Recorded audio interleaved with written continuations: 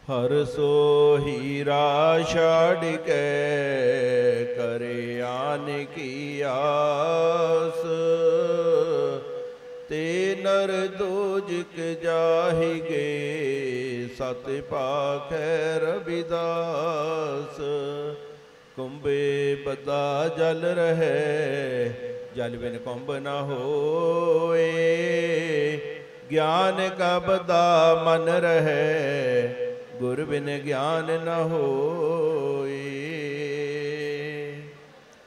ਆਦਰਨੀय ਗੁਰੂ ਰੂਪ ਸਾਧ ਸੰਗ ਜੀਓ, ਬੜਪਾਕੇ ਹੋ, ਜੋ ਜੁਗੋ ਜੁਗ ਅਟਲ, ਕਲ ਯੁਗ ਕੇ ਉਤਾਰ, ਧੰਨ ਧੰਨ ਸ੍ਰੀ ਗੁਰੂ ਗ੍ਰੰਥ ਸਾਹਿਬ ਮਹਾਰਾਜ ਪਿੱਤਰ ਗੋਦ ਅੰਦਰ ਜੁੜ ਬੈਠੇ ਹੋ।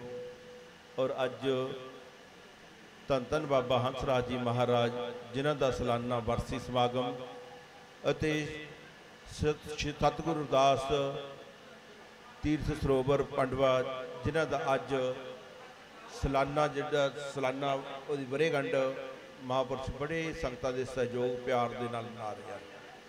Sant Baba Mahinderpal ji, chairman Sri Gurdas Sahib Sampardai society, registered Punjab, ਜਿਹੜੇ ਜਿਨ੍ਹਾਂ ਦਾ ਗੁਰਬਾਣੀ ਦੇ ਨਾਲ ਅਥਾਹ ਪਿਆਰ ਆ, ਜਿਹੜੇ ਗੁਰਬਾਣੀ ਦੇ ਨਾਲ ਜੁੜੇ ਰਹਿੰਦੇ ਆ, ਜਦੋਂ ਵੀ ਡੇਰੇ ਦੇ ਵਿੱਚ ਸਮਾਗਮ ਹੁੰਦਾ ਅਖੰਡ ਪਾਠਾਂ ਦੀ ਲੜੀ ਦੇ ਭੋਗ ਪਾਏ ਜਾਂਦੇ ਆ। ਹਰੇਕ ਐਤਵਾਰ ਅਖੰਡ ਪਾਠਾਂ ਦੇ ਭੋਗ ਪਾਏ ਜਾਂਦੇ ਆ। ਕਿਉਂਕਿ ਜਿਨ੍ਹਾਂ ਦਾ ਬਾਣੀ ਦੇ ਨਾਲ ਪਿਆਰ ਆ। ਗੁਰੂ ਦਾਸ ਮਹਾਰਾਜ ਦੀ ਬਾਣੀ ਦਾ ਫਰਮਾਨ ਹੈ, ਸਾਧੂ ਕੀ ਜੋ ਲਹੇ ਕੋਟ, ਤੇਰੇ ਮਿਟੇ ਪਾਪ ਸਭ ਕੋਟ ਕੋਟ। ਸਤਿਗੁਰੂ ਪਾਤਸ਼ਾਹ ਕਹਿੰਦੇ, ਕੋਈ ਇਦਾਂ ਦਾ ਨਾਮ ਦਾ ਰਸੀਆ ਸਾਧੂ, ਜਿਹੜਾ ਹਰ ਵੇਲੇ ਨਾਮ ਦੇ ਨਾਲ ਜੁੜਿਆ ਰਹਿੰਦਾ। ਕਹਿੰਦੇ, ਉਹਨਾਂ ਦੇ ਉਹਨਾਂ ਦਾ ਓਟ ਆਸਰਾ ਸਾਨੂੰ ਲੈਣਾ ਚਾਹੀਦਾ। ਸਾਨੂੰ ਕਲਯੁਗ ਨੂੰ, ਕਲਯੁਗ ਜੀਵਾਂ ਨੂੰ ਉਹ ਸਾਧੂ ਦਾ ਓਟ ਆਸਰ ਲੈਣਾ ਚਾਹੀਦਾ। ਸਾਧੂ ਕੀ ਜੋ ਲਹੇ ਓਟ, ਤੇਰੇ ਮਿਟੇ ਪਾਪ ਸਭ ਕੋਟ ਕੋਟ, ਸਾਡੇ ਜਨਮ ਜਨਮਾਤਰਾ ਜਿਹੜੇ ਪਾਪ ਆ, ਉਹ ਖੰਡਨ ਹੋ ਜਾਂਦੇ ਆ। ਉਹ ਦੂਰ ਹੋ ਜਾਂਦੇ ਆ। ਕਹਿਰ ਰਵਿਦਾਸ ਜੋ ਜਪੇ ਨਾਮ। ਸਤਿਗੁਰੂ ਪਾਤਸ਼ਾਹ ਕਹਿੰਦੇ, ਕਹਿਰ ਰਵਿਦਾਸ ਜੋ ਜਪੇ ਨਾਮ, ਤਿਸ ਜਾਤ ਨਾ ਜਨਮ ਨਾ ਜੂਨ ਕਾਮ। ਉਹ ਜਾਤਾਂ ਪਾਤਾਂ ਤੋਂ ਜੁਨੀਆਂ ਤੋਂ ਮੁਕਤ ਹੋ ਜਾਂਦੇ ਆ। ਜਿਹੜੇ ਮਹਾਪੁਰਸ਼ਾਂ ਦਾ ਨਾਮ ਦੇ ਨਾਲ ਜੁੜਦੇ ਆ। ਗੁਰਬਾਣੀ ਦਾ ਫਰਮਾਨ ਹੈ, ਸਾਧ ਪਠਾਏ ਆਪ ਹਰ, ਹਮ ਤਮ ਤੇ ਨਾਹੀ ਦੂਰ। ਸਾਧੂ ਉਸ ਅਕਾਲ ਪੁਰਖ ਵੱਲੋਂ ਭੇਜੇ ਹੋਏ ਸਾਧੂ ਨਾਮ ਦੇ ਰਸੀਏ। ਪਰਮਾਤਮਾ ਕਹਿੰਦਾ, ਮੈਂ ਉਹਨਾਂ ਸਾਧੂਆਂ ਦੇ ਹਰ ਵੇਲੇ ਨਾਲ ਹੀ ਆ ਨਾਲ ਹੀ ਰਹਿੰਦਾ ਹਾਂ, ਜਿਹੜੇ ਉਸ ਹਰੀ ਹਰੀ ਪਰਮੇਸ਼ਵਰ ਦਾ ਨਾਮ ਜਪਦੇ ਆ। ਜਿਨ੍ਹਾਂ ਸਾਸ ਗਰਾਸ ਨਾ ਬਿਸਰੈ, ਹਰ ਨਾਮਾ ਮਨਮੰਤ ਧੰਨ ਸਈ ਨਾਨਕਾ, ਪੂਰਨ ਸੋਈ ਸੰਤ, ਪੂਰਨ ਸਾਧੂ, ਜਿਹੜੇ ਨਾਮ, ਆਪ ਨਾਮ ਜਪਦੇ ਅਤੇ ਸਾਨੂੰ ਕਲਯੁਗੀ ਜੀਵਾਂ ਨੂੰ ਨਾਮ ਦੇ ਨਾਲ ਜੋੜਦੇ ਆ। ਕਿਉਂਕਿ ਗੁਰਬਾਣੀ ਜਿਹੜੀ ਆ, ਗੁਰੂ ਦਾਸ ਮਹਾਰਾਜ ਜੀ, ਜਿਨ੍ਹਾਂ ਦਾ ਅਸੀਂ ਹਰ ਰੋਜ਼ ਸਿਮਰਨ ਕਰਦੇ ਆ, ਬਾਣੀ ਪੜ੍ਹਦੇ ਆ, ਉਹਨਾਂ ਦੇ ਨਾਮ ਦੇ ਉੱਤੇ ਆਰਤੀਆਂ ਕਰਦੇ ਹਾਂ। ਉਹ ਕੋਈ ਬਾਣੀ ਐਵੇਂ ਨਹੀਂ ਆਈ। ਉਹ ਬਾਣੀ ਜਿਹੜੀ ਆ ਇਲਾਹੀ ਬਾਣੀ, ਕਿਸੇ ਮਹਾਪੁਰਸ਼ ਨੇ ਭੁੱਖੇ ਬੈਠ ਕੇ ਚਾਰੀ ਆ ਕਿਸੇ ਨੇ, ਕਿਸੇ ਹਾਲਤ ਵਿੱਚ ਕਿਸੇ ਨੇ ਧੁੱਪ ਦੇ ਵਿੱਚ, ਕਿਸੇ ਨੇ ਠੰਡ ਦੇ ਵਿੱਚ। ਇਤਿਹਾਸ ਦੱਸਦਾ ਜਦੋਂ ਗੁਰੂ ਰਵਿਦਾਸ ਮਹਾਰਾਜ ਜੀ ਕਾਂਚੀ ਤੋਂ ਚੱਲ ਕੇ ਖੁਰਾਲਗੜ੍ਹ ਚੱਕ ਹਕੀਮ ਡੰਡੇਆਲ ਤੋਂ ਚੂੜਕਾੜੇ ਦੀ ਧਰਤੀ ਤੇ ਗਏ। ਚੂੜਕਾੜੇ ਧਰਤੀ ਦੇ ਉੱਤੇ ਜਿਹੜਾ ਕਹਿੰਦੇ ਸੱਚਾ ਸੌਦਾ ਗੁਰੂ ਨਾਨਕ ਪਾਤਸ਼ਾਹ ਨੇ ਕੀਤਾ, ਉਹ ਸੱਚਾ ਸੌਦਾ ਜਿਹੜਾ ਉਹ ਚੂੜਕਾੜੇ ਦੀ ਧਰਤੀ ਤੇ ਹੋਇਆ। ਸੱਚਾ ਸੌਦਾ ਕਿਹੜਾਗਾ ਬਾਣੀ ਦਾ ਫਰਮਾਨ ਹੈ, ਸੱਚਾ ਸੌਦਾ ਹਰ ਨਾਮ ਹੈ। ਮਹਾਰਾਜ ਕਹਿੰਦੇ ਬਾਣੀ ਦਾ ਜਿਹੜਾ ਨਾਮ ਦਾ ਹੀ ਸੱਚਾ ਸੌਦਾ ਆ। ਅਸੀਂ ਹਰ ਰੋਜ਼ ਕਰਿਆਨਾ ਲੈਣ ਜਾਂਦੇ ਉਹਨੂੰ ਕਦੇ ਸੱਚੇ ਸੌਦਾ ਨਹੀਂ ਕਹਿੰਦੇ। ਅਸੀਂ ਵਣਜ ਕਰਦੇ ਆ ਉਸ ਸੱਚਾ ਨਹੀਂਗਾ ਮਹਾਰਾਜ ਤੇ ਕਹਿੰਦੇ ਬਣਜ ਕਰੋ ਬਣਜਾਰਿਓ ਬੱਖਰ ਲਿਹੋ ਸੰਭਾਲ। ਜੈਸੀ ਵਸਤ ਵਸਾਈਐ ਤੈਸੀ ਨਿਵਜੈ ਨਾਲ। ਕਹਿੰਦੇ, ਜੇ ਦੁਨੀਆ ਦੇ ਉੱਤੇ ਆਏ ਹੋ, ਉਹ ਜਿਹਾ ਵਣਜ ਕਰਕੇ ਜਾਇਓ, ਜਿਹੜਾ ਇਨਸਾਨ ਦੇ ਨਾਲ ਨਿਭਣੇ ਵਾਲਾ ਆ। ਇਹ ਤਾਂ ਦੁਨਿਆਵੀ ਪਦਾਰਥ ਆ, ਦੁਨਿਆਵੀ ਇੱਥੇ ਰਹਿ ਜਾਣੇ, ਨਾਮ ਤੇ ਰਵਾਤੀ ਮਜਨ ਮਰਾਰੇ, ਹਰ ਕੇ ਨਾਮ ਬਿਨ ਝੂਠੇ, ਸਗਲ ਪਸਾਰੇ। ਹਰੀ ਨਾਮ ਤੋਂ ਮੇਰਾ ਸਭ ਕੁਝ ਝੂਠਾ ਆ। ਕੂੜ ਰਾਜਾ, ਕੂੜ ਪਰਜਾ, ਕੂੜ ਸਭ ਸੰਸਾਰ। ਇੱਥੇ ਰਾਜਾ ਵੀ ਝੂਠਾ, ਪਰਜਾ ਵੀ ਝੂਠੀ, ਸਾਰਾ ਸੰਸਾਰ ਹੀ ਝੂਠਾ ਆ। ਮਾਰੇ ਕਹਿੰਦੇ, ਸੱਚਾ ਕੀ ਹੈ? ਸੱਚਾ ਸੌਦਾ ਹਰੀ ਨਾਮ ਹੈ। ਉਹ ਹਰੀ ਨਾਮ ਦਾ ਵਣਜ ਜਿਹੜਾ ਗੁਰੂ ਨਾਨਕ ਪਾਤਸ਼ਾਹ ਚੂੜਕਾਣੇ ਧਰਤੀ ਦੇ ਉੱਤੇ ਉਹਨਾਂ ਦੇ ਨਾਲ ਮਿਲਾਪ ਹੋਇਆ। ਉਸ ਤੋਂ ਬਾਅਦ ਸੰਤ ਘਾਟ ਸੁਲਤਾਨਪੁਰ ਲੋਧੀ ਦੇ ਵਿੱਚ ਵੀ ਗੁਰੂ ਨਾਨਕ ਪਾਤਸ਼ਾਹ ਦਾ ਗੁਰੂ ਰਵਿਦਾਸ ਦੇ ਨਾਲ ਮਿਲਾਪ ਹੋਇਆ। ਔਰ ਤੀਸਰਾ ਜਿਹੜਾ ਕਾਂਚੀ ਦੇ ਵਿੱਚ ਅੱਜ ਗੁਰੂ ਕਾ ਬਾਗ ਗਿਆ। ਤੀਸਰਾ ਮਿਲਾਪ ਜਿਹੜਾ ਗੁਰੂ ਕਾ ਗੁਰੂ ਕਾ ਬਾਗ ਕਾਂਚੀ ਦੇ ਵਿੱਚ ਆ। ਉੱਥੇ ਸਤਿਗੁਰੂ ਰਵਿਦਾਸ ਮਹਾਰਾਜ, ਸਤਿਗੁਰੂ ਕਬੀਰ ਮਹਾਰਾਜ, ਸਤਿਗੁਰੂ ਨਾਨਕ ਦੇਵ ਜੀ ਦਾ ਮਿਲਾਪ ਹੋਇਆ। ਉੱਥੇ ਵਿਚਾਰ ਗੋਸ਼ਟੀ ਹੋਈ। ਵਿਚਾਰ ਗੋਸ਼ਟੀ ਤੋਂ ਬਾਅਦ ਗੁਰੂ ਨਾਨਕ ਪਾਤਸ਼ਾਹ ਜਿਹੜੀ ਬਾਣੀ ਕਬੀਰ ਮਹਾਰਾਜ ਸਤਿਗੁਰੂ ਕਬੀਰ ਮਹਾਰਾਜ ਦੀ ਉਹ ਅਤੇ ਸਤਿਗੁਰੂ ਰਵਿਦਾਸ ਮਹਾਰਾਜ ਦੀ ਬਾਣੀ ਲੈ ਕੇ ਜਦੋਂ ਵਾਪਸ ਆਏ। ਇੱਕ ਸਾਖੀ ਆਉਂਦੀ, ਕਹਿੰਦੇ ਰਾਸਤੇ ਦੇ ਵਿੱਚ ਪੰਡਤਾਂ ਨੇ ਘੇਰ ਲਿਆ। ਉਸ ਵੇਲੇ ਪੰਡਤ ਜਿਹੜੇ ਆ ਉਹ ਇੱਕ ਸੰਸਕ੍ਰਿਤ ਦਾ ਸ਼ਬਦ ਬੋਲਦੇ ਸੀ। ਇੱਕ ਸੰਸਕ੍ਰਿਤ ਦਾ ਸ਼ਬਦ ਬੋਲਦੇ ਸੀ। ਉਹ ਸੰਤ ਨੂੰ ਕਹਿੰਦੇ ਕਿ ਵੀ ਇਹਦਾ ਜਵਾਬ ਦੇ ਕੇ ਜਾ। ਜ਼ਰੂਰੀ ਨਹੀਂ ਕਿ ਸੰਤ ਕੋਈ ਪੜ੍ਹਿਆ ਲਿਖਿਆ ਹੋਵੇ, ਸੰਤ ਕੋਈ ਵਿਦਵਾਨ ਹੋਵੇ, ਸੰਤ ਕੋਈ ਕਥਾ ਵਾਦਾ ਕਥਾ ਕਰਦਾ ਹੋਵੇ ਜਾਂ ਸੰਤ ਕੋਈ ਹਾਰਮੋਨੀਅਮ ਦੇ ਨਾਲ ਸ਼ਬਦ ਬਾਣੀ ਦਾ ਧਨੀ ਹੋਵੇ। ਸਾਧੂ ਉਹ ਹੁੰਦਾ, ਸਾਧੂ ਜਿਹੜਾ ਨਾਮ ਦਾ ਰਸੀ ਆਇਆ। ਸਾਧੂ, ਉਹ ਹੁੰਦਾ ਸਾਧੂ ਜਿਹੜਾ ਪਿਆਰ, ਸਾਧੂ ਪਿਆਰ ਦੇ ਵਿੱਚ ਭੁੱਖਾ ਹੁੰਦਾ, ਪਿਆਰ ਦਾ, ਵਾਹਿਗੁਰੂ ਦੇ ਨਾਮ ਦਾ ਨਾਮ ਦਾ ਭੁੱਖਾ ਹੁੰਦਾ। ਹੋਰ ਸਾਧੂ ਨੂੰ ਕੁਛ ਨਹੀਂ, ਜੇ ਸਾਧੂ ਭੁੱਖੇ ਆ, ਅੱਜ ਅਸੀਂ ਉਹਨੂੰ ਭੋਜਨ ਛਕਾਤਾ ਹੀ ਕਹਿੰਦੇ ਭੁੱਖੇ ਸਾਧੂ ਨੂੰ ਭੋਜਨ ਛਕਾਇਆ। ਸਾਧੂ ਕਦੇ ਭੁੱਖਾ ਨਹੀਂ ਹੁੰਦਾ, ਸਾਧੂ ਜਿਹੜਾ ਆ, ਭੁੱਖਾ ਹੁੰਦਾ ਨਾਮ ਦਾ, ਸਿਮਰਨ ਦਾ। ਜਦੋਂ ਕਹਿੰਦੇ ਗੁਰੂ ਨਾਨਕ ਪਾਤਸ਼ਾਹ ਬਾਣੀ ਲੈ ਕੇ ਆਏ ਤਾਂ ਰਸਤੇ ਦੇ ਵਿੱਚ ਉਹਨਾਂ ਨੂੰ ਪੰਡਤਾਂ ਨੇ ਘੇਰ ਲਿਆ। ਪੰਡਤਾਂ ਨੇ ਘੇਰ ਲਿਆ, ਕਹਿੰਦੇ ਉੱਥੇ ਇੱਕ ਪਾਸੇ ਕਹਿੰਦੇ ਕਾਫੀ ਚੋਲੇ ਲਾ ਕੇ ਰੱਖ ਟੰਗੇ ਸੀਗੇ ਤੇ ਥੱਲੇ ਉੱਥੇ ਚਿੱਪੀਆਂ ਰੱਖੀਆਂ ਸੀ। ਉਹਨਾਂ ਨੇ ਸੰਸਕ੍ਰਿਤ ਦਾ ਸ਼ਬਦ ਪੜਿਆ ਕਹਿੰਦੇ ਕਿ ਮਹਾਰਾਜ ਕਹਿੰਦੇ, ਜੇ ਤਾਂ ਤੁਸੀਂ ਇਹਦਾ ਜਵਾਬ ਦੇ ਦੋਗੇ, ਠੀਕ ਹੈ। ਜੇ ਨਹੀਂ ਦੇਣਾ ਤਾਂ ਕਹਿੰਦੇ ਆਪਣਾ ਝੋਲਾ ਲਾ ਕੇ ਇਸ ਜਗ੍ਹਾ ਦੇ ਉੱਤੇ ਟੰਗ ਦਿਓ। ਗੁਰੂ ਨਾਨਕ ਪਾਤਸ਼ਾਹ ਨੇ ਕਿਹਾ, ਕਹਿੰਦੇ ਕਿ ਕਹਿੰਦੇ ਕਦੇ ਵੀ ਇਹ ਪੰਡਤ ਜੀ ਕਹਿੰਦੇ, ਕਦੇ ਵੀ ਕੁੱਤੇ ਵਾਲੇ ਕਰਮ ਨਹੀਂ ਕਰੀਦੇ। ਕਹਿੰਦੇ ਤੇਰਾ ਬਾਪ ਵੀ ਕੁੱਤੇ ਵਾਲੇ ਕਰਮ ਕਰਦਾ ਸੀ, ਜਿਹੜਾ ਕਿ ਅੱਜ ਤੱਕ ਉਹ ਜੁਨੀ ਜੁਨ ਦੇ ਵਿੱਚ ਭੁਗਤਦਾ ਕਹਿੰਦੇ ਉਹਦਾ ਉਹਦਾ ਆਧਾਰ ਨਹੀਂ ਹੋਇਆ। ਜਦੋਂ ਗੁਰੂ ਨਾਨਕ ਪਾਤਸ਼ਾਹ ਤੋਂ ਇਹ ਸੁਣਿਆ ਤਾਂ ਉਹ ਅੱਗ ਬਗੂਲਾ ਹੋ ਗਏ, ਕਹਿੰਦੇ ਅਸੀਂ ਨਾਮ ਦੇ, ਅਸੀਂ ਵੇਦਾਂ ਸ਼ਾਸਤਰਾਂ ਦੇ ਧਣੀ। ਅਸੀਂ ਸਾਰੇ ਵੇਦ ਸ਼ਾਸਤਰ ਸਾਨੂੰ ਮੂੰਹ ਜਵਾਨੀ ਆਉਂਦੇ ਆ। ਕਹਿੰਦੇ ਸਾਡਾ ਬਾਪ ਜਿਹੜਾ ਉਹ ਕੁੱਤੇ ਦੀ ਜੂਨ ਵਿੱਚ ਆ, ਕਹਿੰਦੇ ਹਾਂ। ਕਹਿੰਦੇ ਜਦੋਂ ਕੁੱਤੇ ਵਾਲੇ ਕਰਮ ਕਰਦੇ ਨਾ, ਕੁੱਤੇ ਵਾਲੀ ਜੂਨ 'ਚ ਹੀ ਪੈਣਾ। ਫਿਰ ਕਹਿੰਦੇ ਜਦੋਂ ਗੁਰੂ ਨਾਨਕ ਪਾਤਸ਼ਾਹ ਨੇ ਕਹਿੰਦੇ ਇਦਾਂ ਇਸ਼ਾਰਾ ਕੀਤਾ, ਉਹਦੇ ਜਿਹੜੇ ਕੁੱਤੇ ਦੇ ਕਾਰਨ ਗਿਆ, ਉੱਠ ਕੇ ਉਹ ਚੱਲ ਕੇ ਆਪ ਆ ਗਿਆ ਕੋਲ। ਉਹਨਾਂ ਨੂੰ ਹੋਸ਼ ਵਿੱਚ ਲਿਆਂਦਾ, ਉਹਨੇ ਦੱਸਿਆ, ਕਹਿੰਦਾ ਕਿ ਆਪਣੇ ਬੱਚੇ ਨੂੰ ਦੱਸਦਾ, ਕਹਿੰਦਾ, ਬੇਟਾ ਆ ਜਿਹੜੇ ਚੋਲੇ ਤੇ ਚਿੱਪੀਆਂ ਨਾ ਸਾਧੂਆਂ ਦੀਆਂ, ਇਹ ਕਹਿੰਦਾ, ਮੈਂ ਮੈਂ ਵੀ ਇਹੀ ਕੰਮ ਕਰਦਾ। ਜਿਹੜੇ ਅੱਜ ਤੁਸੀਂ ਕਰਦੇ, ਮੈਂ ਵੀ ਇਹੀ ਕਰਦਾ ਸੀਗਾ। ਕੋਈ ਪੂਰਨ ਸਾਧੂ, ਕੋਈ ਨਾਮਦਾਰ ਰਸਿਆ ਸੰਤ ਬਾਬਾ ਹੰਸਰਾਜ ਮਹਾਰਾਜ ਵਰਗਾ, ਜਿਹੜੇ ਹਰ ਵੇਲੇ ਨਾਮ ਦੇ ਵਿੱਚ ਜਿੰਨਾ ਸਾਸ ਗਰਾਸ ਨਾ ਵਿਸਰੈ ਹਰ ਨਾਮਾ ਮਨਮੰਤ ਧੰਨ ਸਈ ਨਾਨਕਾ ਪੂਰਨ ਸੋਈ ਸੰਤ। ਕਹਿੰਦੇ ਕੋਈ ਸੰਤ ਨੂੰ ਕਹਿੰਦੇ ਜਦੋਂ ਉਹਨਾਂ ਨੂੰ ਕਿਹਾ, ਕਹਿੰਦੇ ਉਹਨੇ ਕਿਹਾ, ਜਾ ਕੁੱਤੇ ਵਾਲੇ ਕੰਮ ਕਰਦਾ। ਕਹਿੰਦੇ ਉਦੋਂ ਤੋਂ ਮੈਂ ਜਿਹੜੇ ਥੋੜਾ ਸਮੇਂ ਬਾਅਦ ਇਹ ਸਰੀਰ ਛੱਡ ਗਿਆ, ਜਦ ਦਾ ਕੁੱਤੇ ਦੀ ਜੂਨ ਦੇ ਵਿੱਚ ਇਹ ਪਿਆ।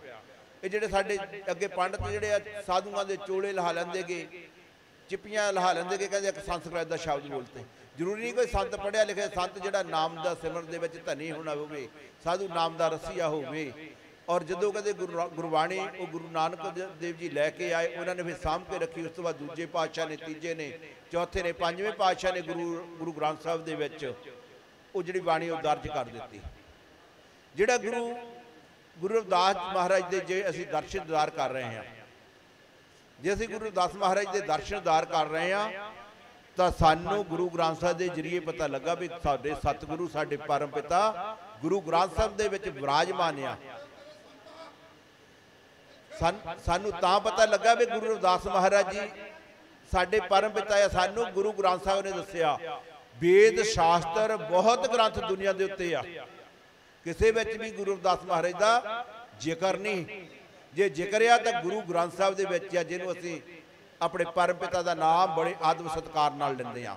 ਜੇ ਗੁਰੂ ਗ੍ਰੰਥ ਸਾਹਿਬ ਦੇ ਵਿੱਚ ਵੀ ਨਹੀਂ ਨਾ ਹੁੰਦਾ ਨਾ, ਸਾਡੀ ਨਗੁਰਿਆਂ ਦੀ ਕੌਮ ਹੋਣੀ ਸਾਡਾ ਕੋਈ ਵਾਲੀ ਵਾਰਸ ਨਹੀਂ ਹੋਣਾਗਾ। ਅਸੀਂ ਕਦੀ ਕਿਤੇ ਭਟਕਣਾ ਖਾ ਕਦੀ ਕਿਤੇ ਭਟਕਣਾ ਖਾ ਸਤਿਗੁਰੂ ਨੇ ਐਡੀ ਕਿਰਪਾ ਕਰ ਦਿੱਤੀ।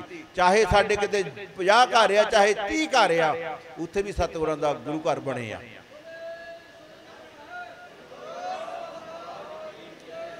ਇਹ ਗੁਰੂ ਸਾਹਿਬ ਨੇ ਕਿਰਪਾ ਕਰ ਦਿੱਤੀ। ਜਦੋਂ ਦਾ ਅਸੀਂ ਗੁਰੂ ਸਾਹਿਬ ਜੀ ਦੇ ਨਾਲ, ਉਹਨਾਂ ਦੇ ਚਰਨਾਂ ਦੇ ਨਾਲ ਸਾਡਾ ਸਮਾਜ ਜੁੜ ਗਿਆ, ਜਦੋਂ ਦੇ ਪਹਿਲਾਂ ਮਤਲਬ ਅਸੀਂ ਸਾਡੇ ਸਾਡੇ ਜਿਨ ਆਪਾਂ ਗੁਰੂ ਘਰਾਂ ਦੇ ਵਿੱਚ 30 35 40 ਸਾਲ ਪਿੱਛੇ ਚੱਲ ਜਾਈਏ। ਅਸੀਂ ਗੁਰੂ ਰਵਿਦਾਸ ਮਹਾਰਾਜ ਦਾ ਕਿੱਥੇ ਕ- ਕੜਾਹ ਪ੍ਰਸ਼ਾਦ ਤੋਂ ਦਾ ਮਤਲਬ ਸਾਡੇ ਨਹੀਂ ਗੁਰਦੁਆਰਿਆਂ ਦੇ ਵਿੱਚ ਵੀ ਲੜਾਈ ਝਗੜੇ ਹੋ ਜਾਂਦੇਗੇ ਕੜਾਹ ਪ੍ਰਸ਼ਾਦ ਤੋਂ ਉਸ ਵੇਲੇ ਸਮਾਂ ਹੀ ਇਦਾਂ ਦਾਗਾ ਉਦੋਂ ਸਾਨੂੰ ਗਿਆਨ ਨਹੀਂ ਸੀਗਾ। ਗਿਆਨ ਸਾਨੂੰ ਕਾਹਦੇ ਨਾਲ ਹੋਇਆ? ਬਾਣੀ ਦੇ ਨਾਲ। ਸਾਨੂੰ ਮਾਪੇ ਨੇ ਪੜਾਇਆ ਪੜਾ ਕੇ ਅਸੀਂ ਬਾਣੀ ਪੜ੍ਹੀ, ਬਾਣੀ ਦੇ ਨਾਲ ਸਾਨੂੰ ਉਹ ਗਿਆਨ ਹੋਇਆ। ਸਾਨੂੰ ਇਹ ਤੋਂ ਪਤਾ ਲੱਗਾ ਵੀ ਸਾਡੇ ਪਰਮ ਪਿਤਾ ਗੁਰੂ ਰਵਿਦਾਸ ਮਹਾਰਾਜ ਜੀ ਦੇ ਵਿੱਚ ਵਿਰਾਜਮਾਨ ਆ।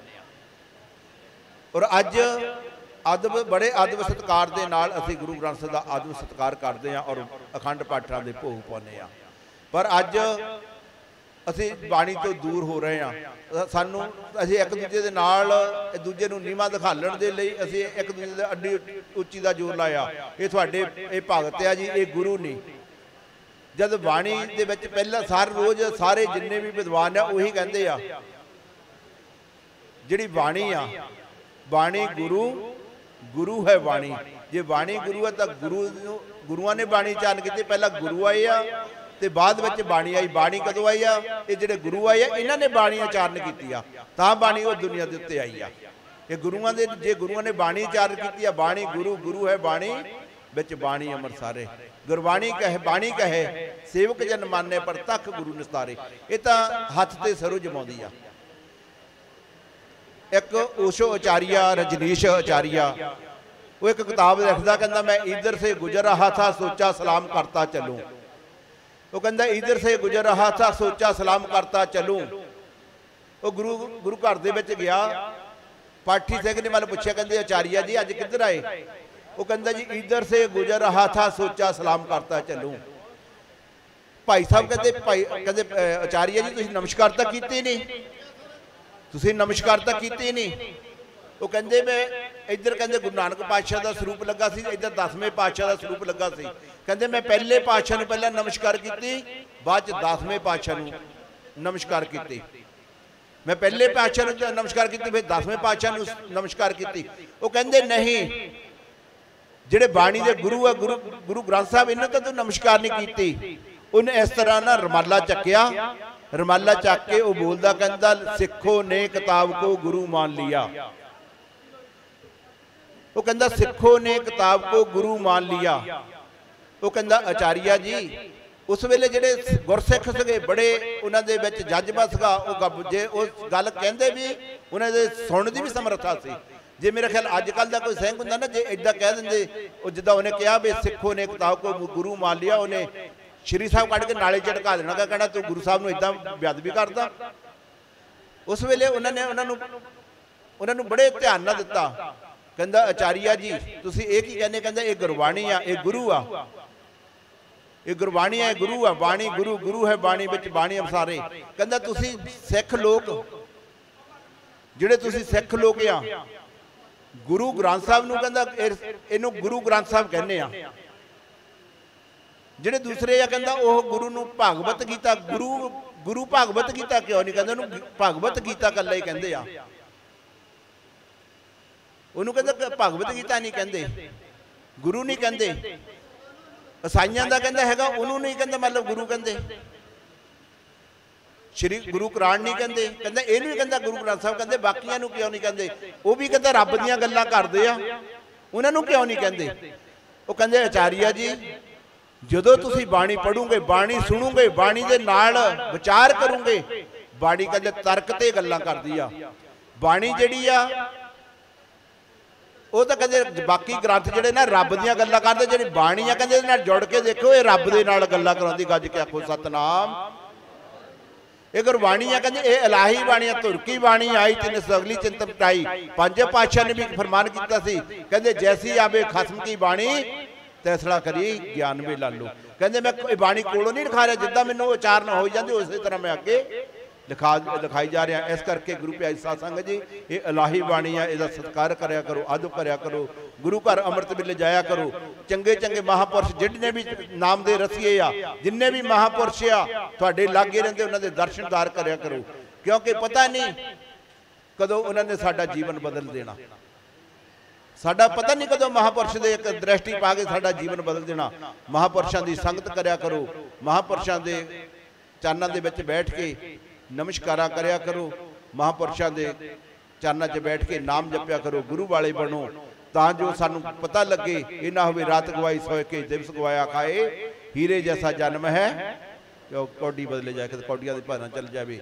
ਇੱਥੇ ਸਾਤ ਮਹਾ- ਮਹਾਂਪੁਰਸ਼ਾਂ ਰਹਿਣਾ ਸਾਰੇ ਮਹਾਂਪੁਰਸ਼ ਇੱਥੇ ਜਿਹੜੇ ਗਏ ਆ, ਦੁਨੀਆ ਤੇ ਗਏ ਨਹੀਂ, ਇੱਥੇ ਹੀ ਆ। ਇਹ ਦੁਨੀਆ ਦੇ ਉੱਤੇ ਆ। ਅਸੀਂ ਕਹਿ ਦਿੰਦੇ ਉਹ ਚਲੇ ਗਏ। ਮਹਾਂਪੁਰਸ਼ ਦੱਸ ਦੇਗੇ ਨਾ, ਉਹ ਕਹਿੰਦੇ ਹਰ ਰੋਜ਼ ਗੱਲਾਂ ਕਰਦੇ, ਗੱਲਾਂ ਉਹ ਕਿੱਦਾਂ ਕਰਦੇ, ਜਦੋਂ ਅਸੀਂ ਉਹਨਾਂ ਨਾਮ ਸਿਮਰਨ ਦੇ ਨਾਲ ਜੁੜਦੇ ਆ ਅਸੀਂ ਤਾਂ ਸਵੇਰ ਨੂੰ 8 ਰਾਤ ਨੂੰ ਸਾਰੀ ਰਾਤ ਤਾਂ ਮੋਬਾਈਲਾਂ ਤੇ ਲੱਗੇ ਰਹਿੰਦੇ ਆ ਸਵੇਰ ਨੂੰ 9 8 9 ਵਜੇ ਭੱਜਣ ਦੀ ਕਾਲੀ ਹੁੰਦੀ ਆ, ਤਾਂ ਉਹਦਾ ਮੂੰਹ ਧੋ ਕੇ ਭੱਜਦੇ ਆ ਸਾਨੂੰ ਦਰਸ਼ਨਦਾਰ ਭਾਈ ਇਹ ਕਿੱਦਾਂ ਹੋਣੇ ਆ। ਇਸ ਕਰਕੇ ਅੰਮ੍ਰਿਤ ਵੇਲੇ ਉੱਠਿਆ ਕਰੋ, ਰਾਤ ਨੂੰ ਸਮੇਂ ਨਾਲ ਸੋਇਆ ਕਰੋ, ਸਵੇਰੇ ਅੰਮ੍ਰਿਤ ਵੇਲੇ ਉੱਠ ਕੇ ਨਾਮ ਦੇ ਨਾਲ ਜੁੜਿਆ ਕਰੋ। ਤਾਂ ਜੋ ਸਾਡੇ ਸਾਡਾ ਜੀਵਨ ਬਦਲ ਜਾਵੇ। ਬੱਚੇ ਨਸ਼ਿਆਂ ਤੋਂ ਮੁਕਤ ਕਰੋ, ਬੱਚਿਆਂ ਨੂੰ ਵੱਧ ਤੋਂ ਵੱਧ ਪੜਾਇਆ ਕਰੋ। ਜਿਸ ਸਮਾਜ ਦੇ ਵਿੱਚ ਪੜਿਆ ਲਿਖਿਆ ਯੂਥ ਹੋਵੇ, ਨਸ਼ਿਆਂ ਤੋਂ ਮੁਕਤ ਹੋਏ, ਸਮਾਜ ਦਾ ਇਕੱਠ ਹੋਵੇ, ਉਹ ਸਮਾਜ ਹਮੇਸ਼ਾ ਤਰੱਕੀ ਦੇ ਰਾਹ ਜਾਂਦਾ ਹੈ। ਮੈਂ ਅੱਜ ਦੇ ਸਮਾਗਮ ਤੇ ਸੰਤ ਬਾਬਾ ਹੰਸਰਾਜ ਜੀ ਮਹਾਰਾਜ ਉਹਨਾਂ ਦੇ ਵਾਰਸੀ ਸਮਾਗਮ ਦੇ ਚਾਨਣ ਦੇ ਵਿੱਚ ਸ਼ਰਧਾ ਦੇ ਫੁੱਲ ਭੇਟ ਕਰਦਾ ਔਰ ਸਤਿਗੁਰੂ ਅਰਦਾਸ ਤੀਰਥ ਸਥਾਨ ਪੰਡਵਾ, ਉਹਨਾਂ ਦੇ ਅੱਜ ਸਮਾਗਮ ਦੀ ਸਾਰੀਆਂ ਸੰਗਤਾਂ ਨੂੰ ਲੱਖ ਲੱਖ ਵਧਾਈ ਜੋ ਉਹਨਾਂ ਦਾ ਹਰ ਸਾਲ ਮਹਾਪੁਰਸ਼ ਮਨਾਉਂਦੇ ਆ। ਆਗਮਨ ਪਰ ਮਨਾਉਂਦੇ ਆ, ਸਾਰਿਆਂ ਨੂੰ ਲੱਖ ਲੱਖ ਵਧਾਈ ਹੋਵੇ, ਮਹਾਪੁਰਸ਼ਾਂ ਨੂੰ ਵੀ ਵਧਾਈ ਹੋਵੇ, ਇਹਨਾਂ ਦੀ ਮਹਾਰਾਜ, ਇਹਨਾਂ ਤੇ ਕਿਰਪਾ ਕਰ ਇਹਨਾਂ ਨੂੰ ਲੰਬੀਆਂ ਉਮਰ ਬਖਸ਼ਣ ਐਸੇ ਤਰ੍ਹਾਂ ਇਹ ਸਮਾਜ ਦਾ ਪ੍ਰਚਾਰ ਅਤੇ ਪ੍ਰਸਾਰ ਕਰਦੇ ਰਹਿਣ। ਜੈ ਗੁਰਦੇਵ, ਧੰਨ ਗੁਰਦੇਵ। ਜੋ ਬੋਲੇ, ਸੋ ਨਿਰਭੈ।